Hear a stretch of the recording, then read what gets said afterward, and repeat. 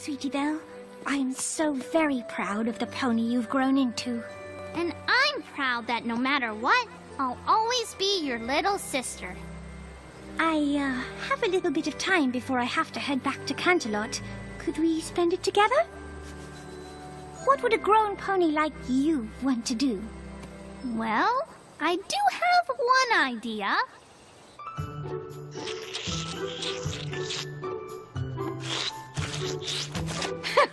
I didn't realize your idea would be such a delicious one. I don't know how I'm gonna finish this.